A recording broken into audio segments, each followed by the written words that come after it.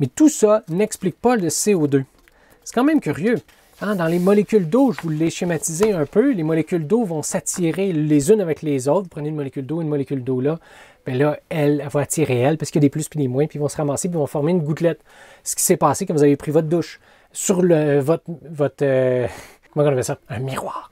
Sur votre miroir, euh, le miroir était suffisamment froid, votre douche était super chaude, il y avait des molécules d'eau qui allaient assez vite pour partir à l'état gazeuse. En frappant votre miroir, le miroir, les particules euh, étaient froides, donc ils vibraient très peu. La molécule d'eau a beaucoup ralenti, s'est accrochée après, est devenue liquide et étant négative, d'autres molécules d'eau qui étaient dans l'air ont été attirées puis ont fini par grossir, grossir, grossir votre molécule, votre goutte d'eau jusqu'à jusqu'à temps que la gravité soit suffisamment grande pour glisser dans votre miroir.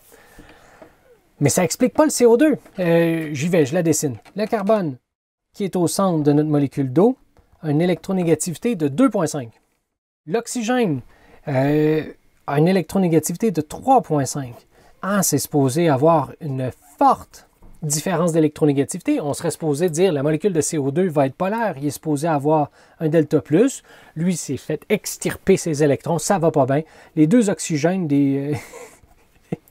Euh, bullies, comme dans le cours d'école, ont arraché les électrons du carbone qui étaient en plein centre. Le carbone tout seul est devenu delta plus. Or, les molécules de CO2 ne se rapprochent pas pour devenir liquide à température pièce. Hein, dans votre miroir, vous n'avez pas eu tout plein de CO2 qui s'est formé avec des gouttelettes de CO2. Pas tout.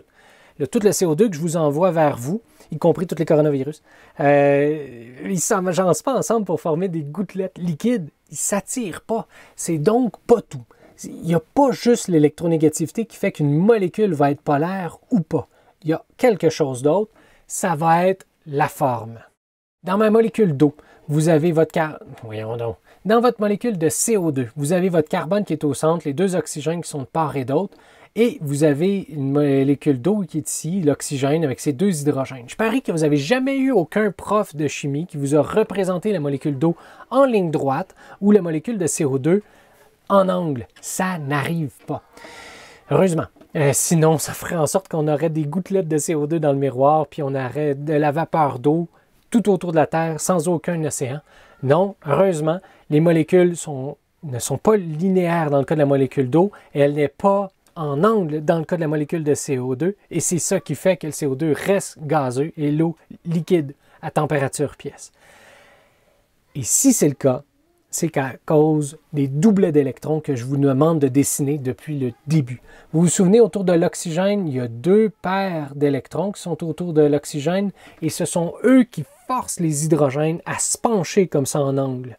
Et c'est cet angle-là qui va faire que la molécule va être polaire et que la Terre sera une planète bleue. Alors que le CO2, le C qui est au centre de votre molécule, lui, il n'y a aucun doublet d'électrons qui va pousser les oxygènes, il va rester linéaire. Mettons que je vous représente ça ici. La molécule d'eau, on se la représente avec les deux doublets et les deux H comme ça, alors que le carbone qui est au centre de votre molécule de CO2, mais le carbone n'a pas de doublet d'électrons pour pousser les liaisons et de faire un angle entre les deux. c'est super important de connaître les angles qu'il y a entre les atomes dans une molécule pour savoir si elle va être polaire ou non. Parce qu'après ça, on va être capable non seulement de parler si c'est soluble ou non soluble, ou si ça va se mélanger dans l'huile plutôt que dans l'eau, mais en plus, on va être capable de dire à telle place, euh, à quelle place ça va rentrer dans le corps humain, et si ça va être euh, cancérigène ou pas, si ça va être hyper toxique ou pas, avec quelle autre molécule celle-ci va être capable d'interagir.